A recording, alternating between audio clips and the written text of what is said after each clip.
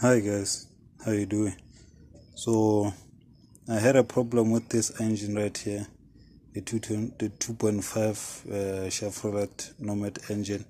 It overheated so i had to take it out plus the ring gear had a problem so i had to fix the ring gear and so on but then now it's fixed. Uh, it, it couldn't turn. I mean the the the starter ate uh, the gears so I had to grind the gears and then put it back.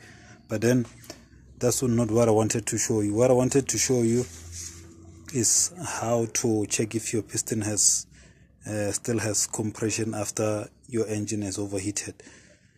Uh, simply what you do is that you just put a blank paper this is a blank paper you just put it here here like that. And then you turn your your engine over there. Let me uh, put in this uh, where's my my pin?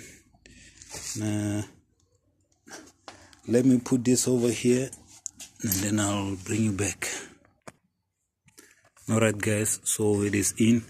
So what you do is that you turn this I'm gonna need both hands. This thing is uh, too heavy. Let me get a what is this? Is it a 13 or what? I think it must be a 14 already have a 14 here. So what you do is you turn this and then this paper will pop. If it pops then it means that you have compression yeah. What is going on here? I can't turn this. So but then I can't turn this. So but then what you do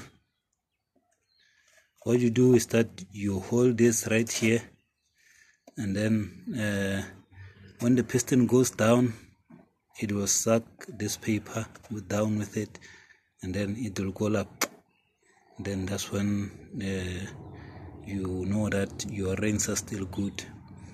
So now I can't uh, I don't know where to put it because I don't have a, a, tripod but then I think you you understand what I'm what, what I'm trying to to say what I'm trying what I'm trying to do.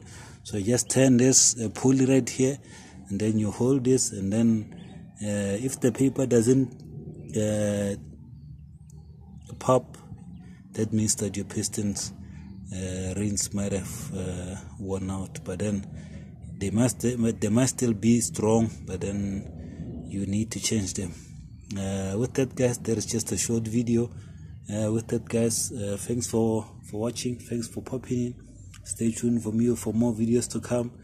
Uh, I'll, I'll be putting in this engine back.